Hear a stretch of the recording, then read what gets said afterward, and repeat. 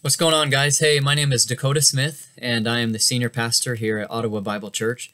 And if you've made your way to this video, it's likely that you have received one of our invitation cards for one of our Christmas Eve services this year. We're going to have two services here at the church. One's going to be at 5 o'clock, the other's going to be at 6.30. Both are going to be candlelight services, and both are going to last about an hour long. Uh, you might be a neighbor of ours. You might be a neighbor of the church just around the corner. You might be from Ottawa, you might be somewhere in Franklin County, but we just want to encourage you to come out to Ottawa Bible Church this Christmas Eve and to worship Jesus with us. See, here at the church, we believe that Jesus is the eternal Son of God who came and took on human flesh and lived a perfect, humble, obedient life, died on the cross to be our sin bearer, resurrected from the dead three days later, to offer eternal life and hope to anyone who places their faith in him and repents of their sin. Hey, that Jesus is the one that we're going to be worshiping this Christmas Eve. In fact, I want to say a little bit more. I want to read to you a passage from Philippians chapter 2, verses 5 through 11 about this humble Jesus. It says here in verse 5 Have this attitude in yourselves, which was also in Christ Jesus, who, although he existed in the form of God, the very nature of God, the very essence of God, did not regard equality with God a thing to be grasped or seized or clutched, but emptied himself, taking the form of a bondservant and being made in the likeness of men.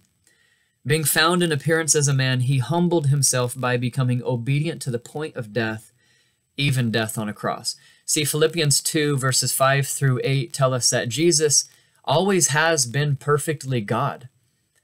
But at this point in time, this is what the Christmas season is all about that Jesus came to this earth and took on human flesh to show us what humanity should really be living like. He divested himself of all personal endeavors. He left heaven. He took on the limitations of a man. And in fact, humanity was added to his deity. And in doing so, he lived a perfect life as a perfect man. See, the Bible declares outright that Jesus is perfectly 100% God and he is perfectly 100% man. Only God can forgive you completely of your sins, and only an actual man can be your perfect substitute. For sinners like myself and for sinners like us, Jesus came down as our perfect substitute to stand in our place.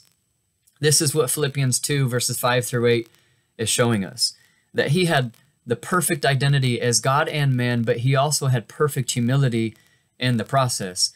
And then, of course, after death on a cross, what does the Bible say? Look at verses 9 through 11. It says, For this reason also God highly exalted him. I think that's an insinuation to the resurrection, even. And bestowed on him the name which is above every name, so that at the name of Jesus every knee will bow, of those who are in heaven and on earth and under the earth and that every tongue will confess that Jesus Christ is Lord to the glory of God the Father. Hey, this Christmas season, we're going to be worshiping the one who's worthy of all honor. We're going to sing praises to her, his name. We're going to make sure that we worship Jesus Christ, the God man who came to stand in our place to give us eternal life and to give us hope. With that being said, I just again, I want to encourage you to come out to church. More about Ottawa Bible Church can be found at ottawabiblechurch.com.